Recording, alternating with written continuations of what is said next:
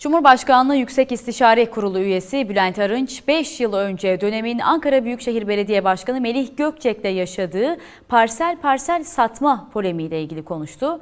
Gökçek'e göndermede bulundu.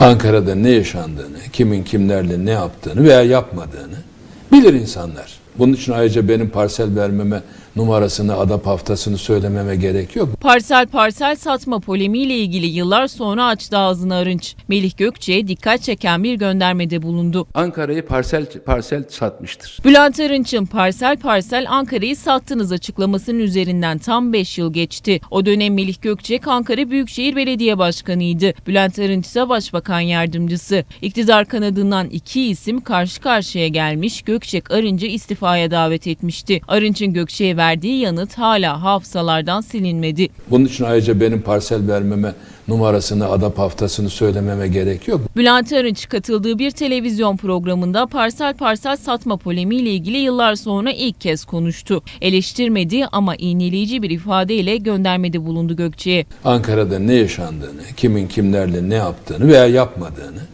bilir insanlar. Bunun için ayrıca benim parsel vermeme numarasını, adap haftasını söylememe gerek yok. Arınç'ın bu açıklamasına Gökçek'ten ne yanıt gelecek merak konusu.